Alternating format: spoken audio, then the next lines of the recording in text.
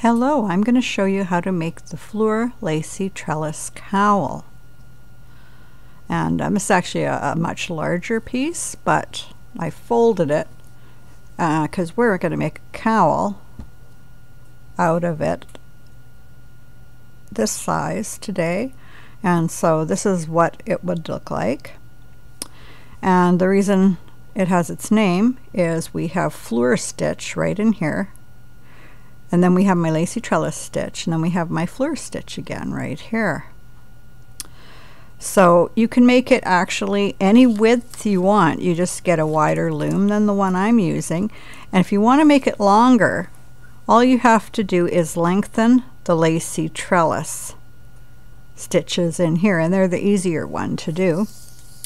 So I've got, I did three and a half inches of the lacy trellis stitch. So when you're doing it, you would just do more inches of the lacy trellis and then you could get a longer one. You could even make it long enough to slip over your head if you wanted to. Okay. So it's actually got a, a nice stretch to it um, both ways. And, um, oh, I should open it up a little bit so you can see the stitches better. I mean, it's really, really, they're both really pretty stitches. So, there we go. Okay, so then we just make a slip knot and we slip it on the beginning peg. And then we're going to cast on doing a chain cast on and so we just take the working yarn, slip it under, slip up a loop, and then the loop goes behind the number two peg. We can make the loop bigger. And then we just take the working yarn here, slip it through the loop, and tighten it. And then we can pull on this to make it tighter. And in my case, I can actually just come around and slip it on there to keep it tight. Um, but you can just keep it tight any way you want or, or not bother. You can tighten it up at the end. And then we take this loop, put it behind, and we just keep pulling the working yarn through. Behind the next peg, pulling the working yarn through the loop. Behind the next peg, pulling the working yarn through the loop. And I always go back and check my tension and make sure that it's tight because we don't want to have big, big loops there. But uh, I want to be able to knit it over the peg. So my tension looks good. And we're going to be using um, we're going to be using this edge here like I have in here and that will prevent it from curling or um, getting uh, you know weird at the bottom and um, it gives a nice border. And what it'll do is it'll hide any loose loops that you might have in your cast on. You don't even see them. If you look here, that's what it looks like. So there's no loose loops anywhere. So that's what we're going to do on our edges. Oh, and the other thing um, is I'm using James C. Brett yarn. I'm not sure if I mentioned that or not because this isn't my first take of this video, but it's um, it is James C. Brett marble yarn, and it's about the same uh, width of something like a Barcelona yarn or a Premier Puzzle yarn, so it's a thinner, bulky, but it works really nice for this pattern because it's a, it's a more lacy pattern. So we just go along tightening this up as we go and casting it on. So I'm just going to meet you at the other end here and show you how to um, attach that on that end. Okay, so I've just put the last one on and now we need to connect it to this starter peg. So all we do is we put the loop over and pull it tight. And then we just knit it over and we're now cast it on and our work is secure and on the loom.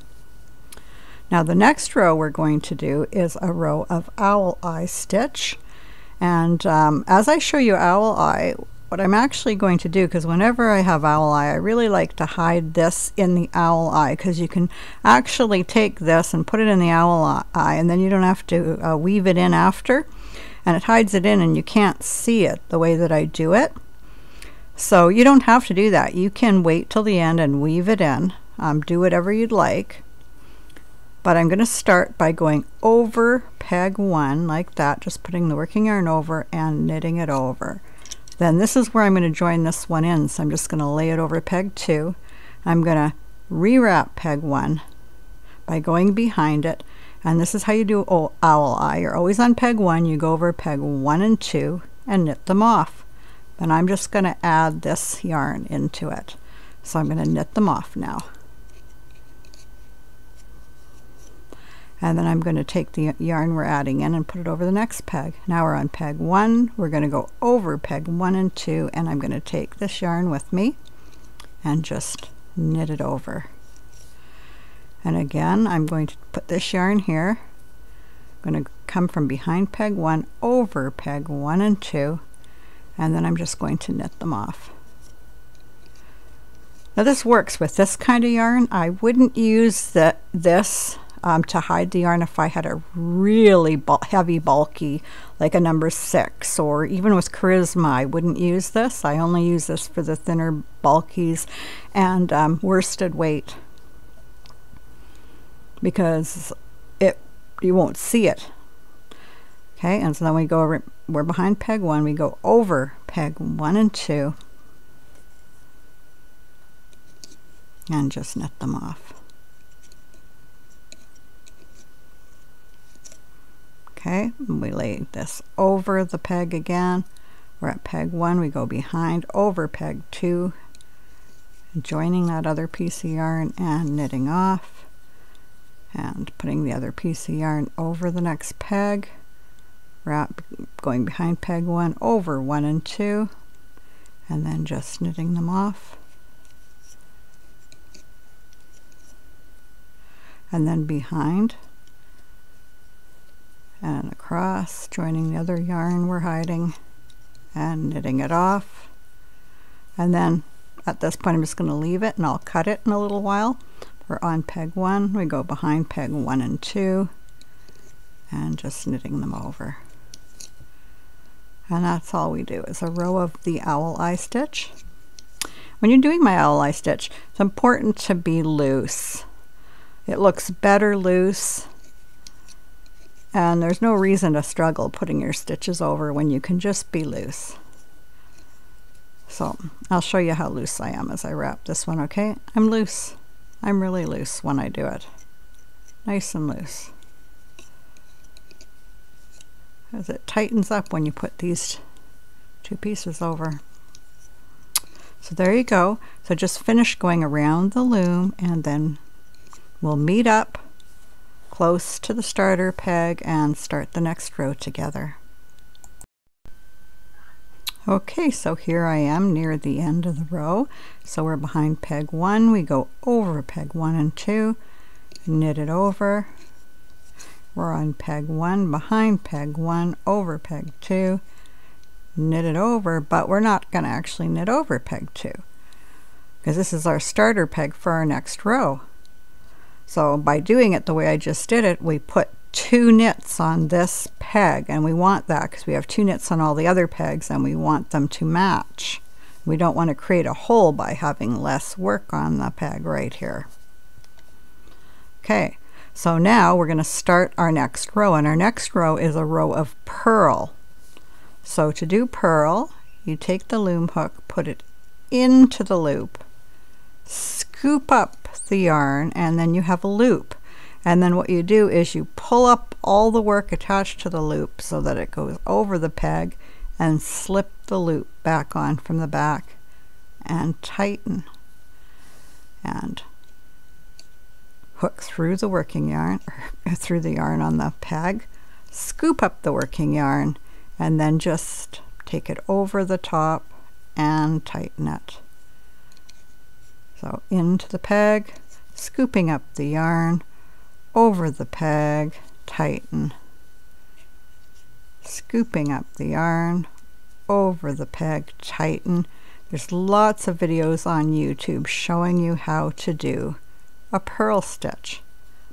So if you need to look at more videos on YouTube to figure out the how to do the stitch, go ahead. But we'll just finish this purl row and I'll meet you up here for the next row. Okay, so I'm just finishing off this row doing my purls.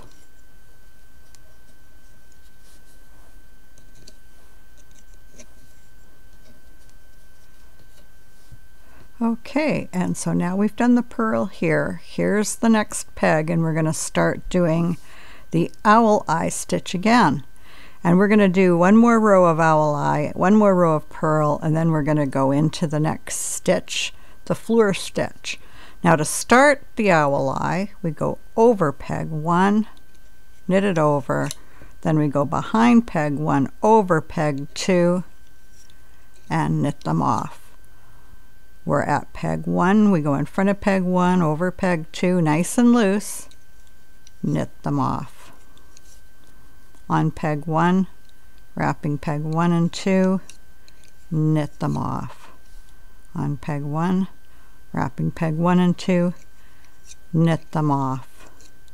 So you're going to go all the way around the, the loom the same way we did here where you end it so that you can start and you have the two, two knits on there so that you can start with your purl row. So go, go ahead, do your row of E-wrap, do your second row of purl, and uh, well the second time you do purl I mean we're, we're doing a total of four rows we're doing what I call um, the the uh, it's one of my curvy stitches um, and I really like it, but we're not doing enough to, to really see the pattern much. But because it is kind of curvy, yeah, it, my curvy wave stitch, it blends in with the chain and looks really, really nice.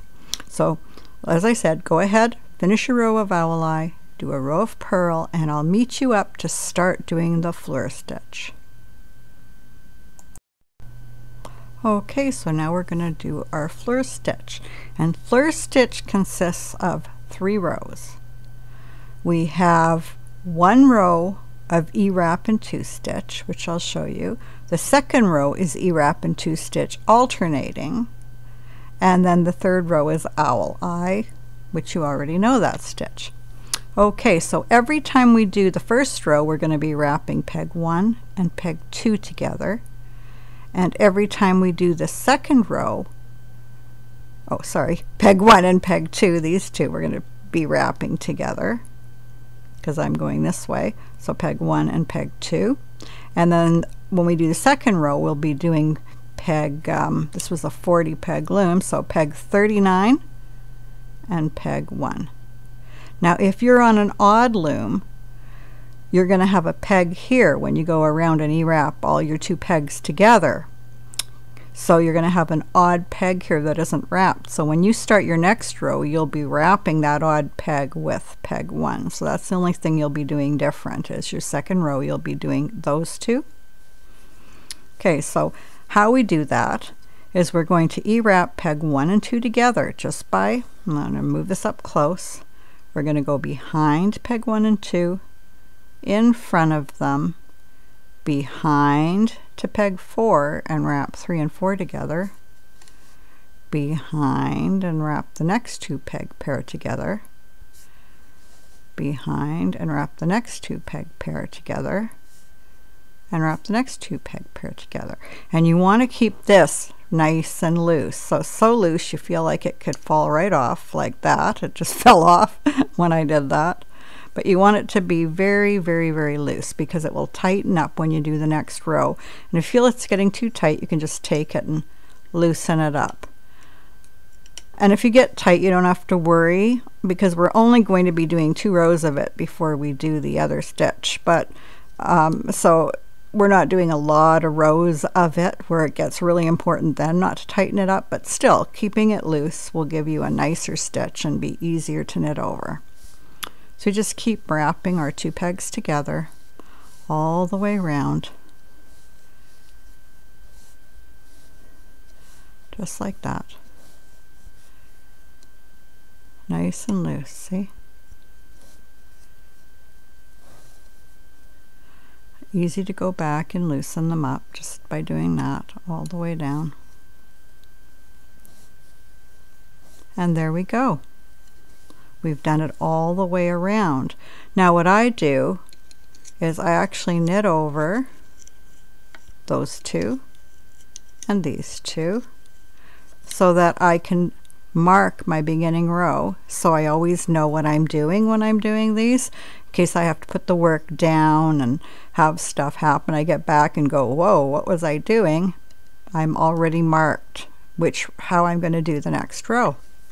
And um, you can mark it any way you want put a band over it um, knit over this stitch here to hold it hold the working yarn in place whatever you want to do just use any system that you have for remembering. I just offered you that one. And um, then we just go around, knit them off. And I'm just going to pause it because pretty boring to watch me knit them off. Okay, they're all knit off. And so I'm back here. So now I'm just going to wrap my next row. So I'm just, here I am. I had these together. And I just keep wrapping the alternating peg pairs.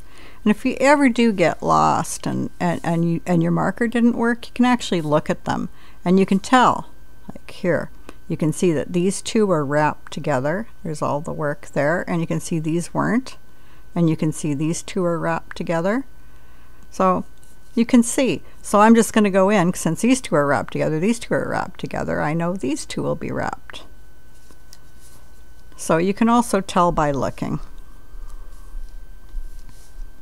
And I'm going around, staying loose.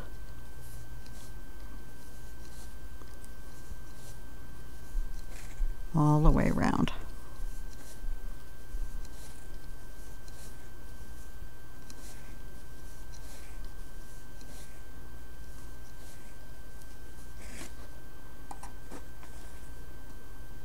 Just Make sure I'm staying loose. Yeah, nice and loose.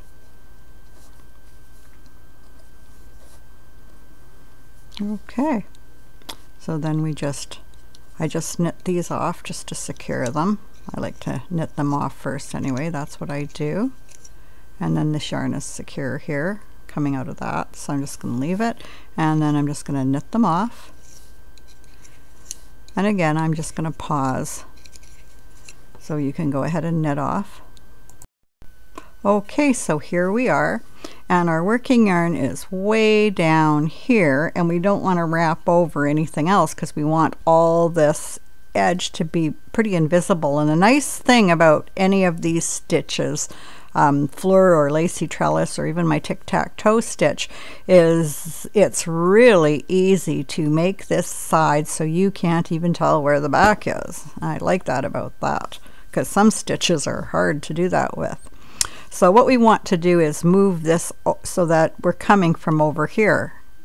So it's the same as what we did. So all we have to do is we can lift this working yarn off the peg, put this behind, and then put the working yarn back on. Or what I like to do, because it's easier, is just stick my hook into here, pull the working yarn through like I'm doing a purl, and then just flip that over like that and pull, and you're behind the peg. So it's a lot easier. Now we only go behind um, the one peg to hit our first peg. And so it'll be the same length as all the other stitches that we do. And then we're just going to go into owl eye and we're just going to go over just like we start owl eye always on the one peg and then wrap that peg and go into peg one and two and knit them over. Run peg one around peg one and two and knit it over and that completes the sequence for the fleur stitch. So we do, we're going to do two complete things of fleur stitch. So you're going to do, after you finish the owl eye row, you're going to do this E-wrap and two sequence exactly the same, then another row of owl eye, and then I'll meet you back here and we'll start the next stitch. Okay, so here we are. And what we've done is we did our bind on.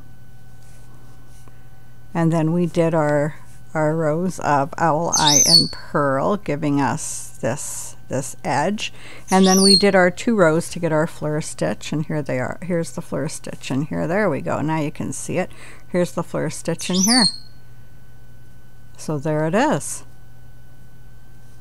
And um, it, it's time to cut this so I'm just going to pull it just a tiny bit cut it off and um, you can't really see where that was.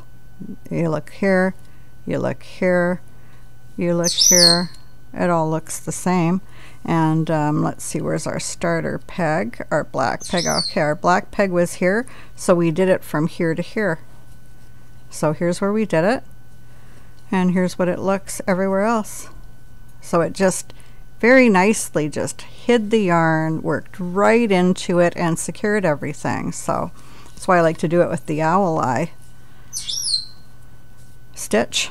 Okay so we finished our sequence of those two. Now we do the lacy trellis stitch and I'm going to do it till it measures about three and a half inches um, so this is where you might make your modification if you wanted to lengthen the lacy trellis. And if you're going to have it really long over your head, you might even want to do one more sequence of the fleur pattern. But to do the lacy trellis, it's much easier.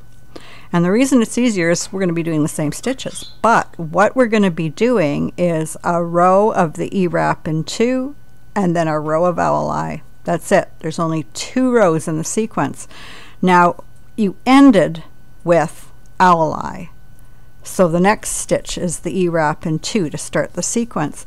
And we're always going to wrap one and two. We're never going to alternate it. It's always going to be wrap one and two, then do the owl eye, come back and uh, wrap one and two. So I'll do the first sequence with you. And so we're going to wrap, E-wrap in two, going over peg one and two, going over peg three and four, and just all the way around the loom, keeping it loose. But it's not going to tighten up, so we don't have to keep it as loose as we were keeping it, although it won't hurt you to have it really loose. But it's not going to tighten up because we're only doing the one row and then going into the row of owl eye. And so just E-wrap around, take them off, and I'll meet you up at the end to do our row of owl eye. Okay, so I've knit off the wrap in two, and then we go into doing their owl eye. So our stitch ended here. We just go over in front of peg one, put it over peg one, wrap one and two, and go ahead and do your owl eye row. And then when you come back around here, this will be the last peg you do and you'll be going over this one, peg 1 and peg 2, and then rewrapping peg 1, knitting it over, and then coming over here and doing your E-wrap and 2 stitch. And so that's all you do. Keep doing your row of owl eye, your row of E-wrap and 2 until you get the lengths you want. I'm going to go to three and a half inches, but go, go longer if you want to have a, a longer, um, taller cowl. And we'll meet you up when we're when we're ready to start the next sequence. Okay, so here I am and I've done all of the lacy trellis rows that I want to do. So now we go back and we do two sequences of the fleur stitch. Now what's important with the way we're going now is that your last row of the sequences you are doing here needs to be owl eye. So if you ended on one of the E-wrap and twos, do a row of your owl eye. And then um, the way we're going to do um, the stitch this time, because what when we started, we started, we, we did the cast on and then we did the, the, the curvy stitch there. But um, when we got up here, we started with the E-wrap in two. So we want to end with the E-wrap in 2 when we come up here, so it'll be the same as it was on the beginning. So the sequence we're going to do is, for, for this, this time, is we're going to do one row of owl eye, um, and you'll finish with the owl eye, and then you're going to do your E-wrap in 2, then your alternating E-wrap in 2, and then your owl eye, and then your E-wrap in two and you're alternating E-wrap in two and you're going to end with the second E-wrap in two. So the sequence is one row of owl eye, the E-wrap in two, and then the alternating E-wrap in two. And you do that twice and then we'll meet up for the bind off sequence.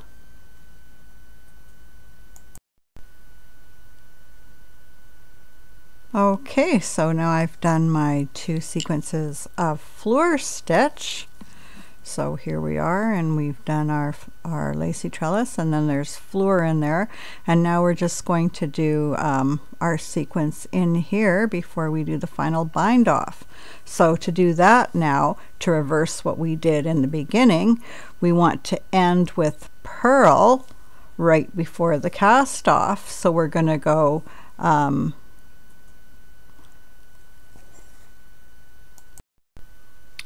Sorry, just had a bit of an interruption there.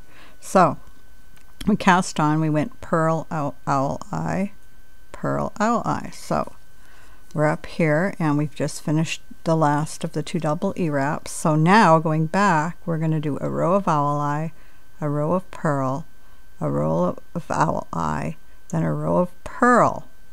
And then I'll meet you back here and we'll do the cast off.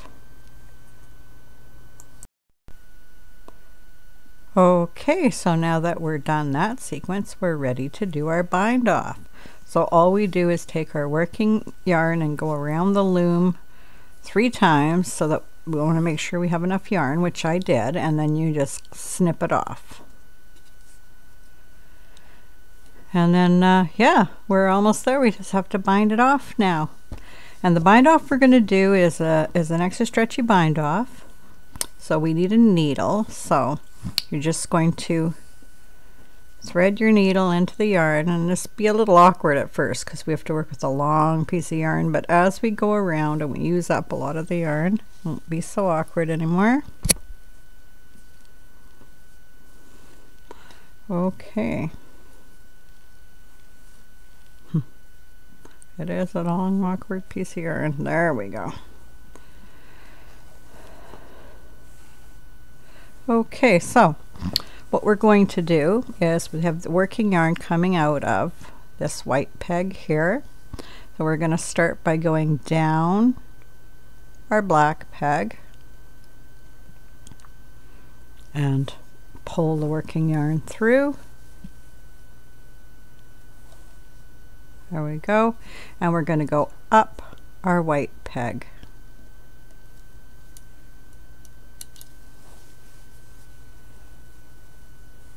And we're going to pull it snug. And now that we've done that, we're going to go in between the two pegs we just worked, the white and the black, and bring it around behind the black. And we're going to go down this peg right here. The new peg, we'll call it, and pull it through and tighten it and we want to keep it nice and tight. Okay and now we've come down there we go back up the one before it. So we're back up. And then we snug it up and then we go in between the two pegs we just worked and and behind it. In front I mean you know right around behind this one. And then we go down the next peg so we're always going down the new peg, up the peg before,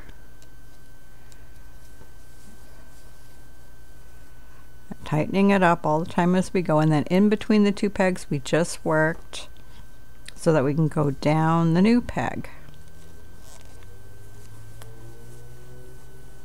Down the new peg.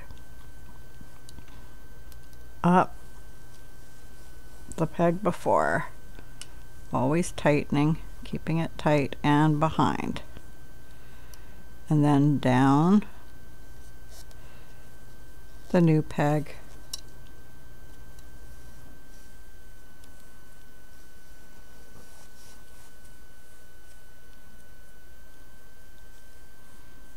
Up the old peg. In between them tightening down the new peg.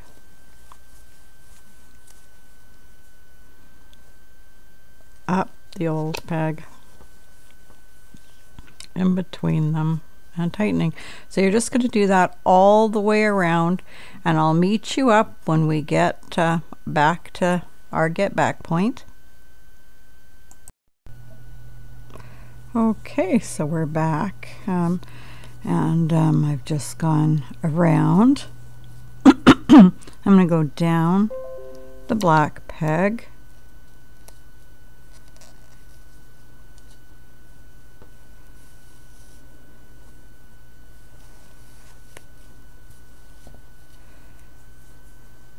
And up. And around and down the white one and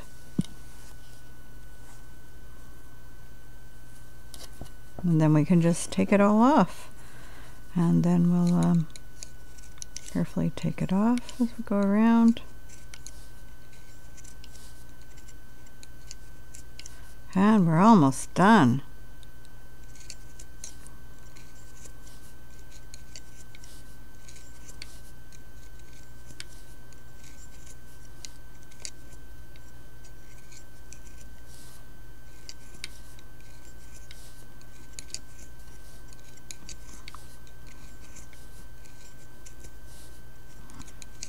I want to pop it off very carefully because these are going to be our loops at the end.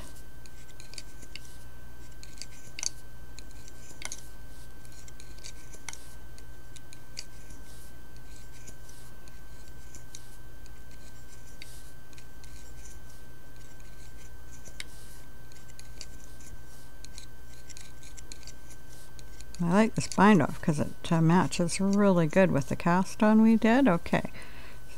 I can take the black one off and then this one carefully and we have our uh, needle connected here.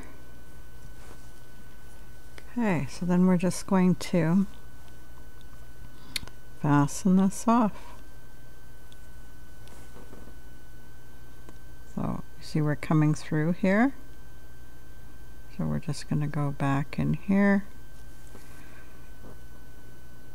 There we go. And then we can just weave this in. So then we're just going to weave this in. And it's going this direction, so I'm going to weave it in this direction. And I think I can cut this a little bit shorter. It'll be more easier. There we go. And we want to do that on the inside so I'm gonna make sure that I have this through to the inside. There just like that.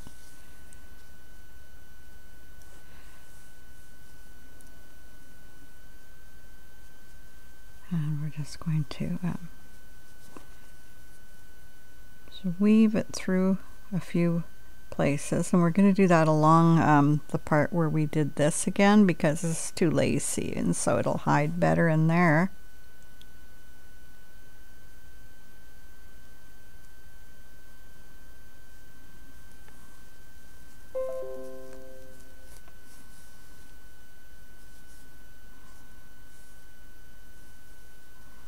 There we go and I'm going to tie a knot somewhere here where I can kind of hide it in here.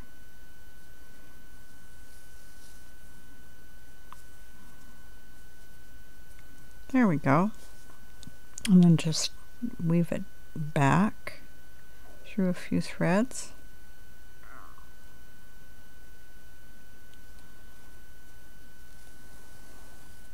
That. And then just cut it off. And there we go. And so then we want to stretch this out. So I'm going to stretch it out this way first. And then I'm going to stretch it out this way. And get these things out of the road here. There we go. Stretch it out this way, including the loom hook. Oh, and the needle. and stretch it out.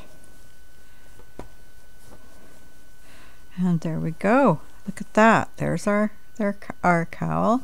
And um, here's our bind bind uh, off and usually I just go along a little bit like this to get it um, there. And this bind off right here. You can see how well these edges match. See that? They're bind off. And how well it matches the edges and then um, we want to look at um, how is the stretch here compared to the stretch here? And so there's our stretch this is our cast on. Here's our bind off. They both have the same amount of stretch. And uh, there it lays very nice. So there you go. And I hope you enjoyed making this and um, yeah I will see you again next time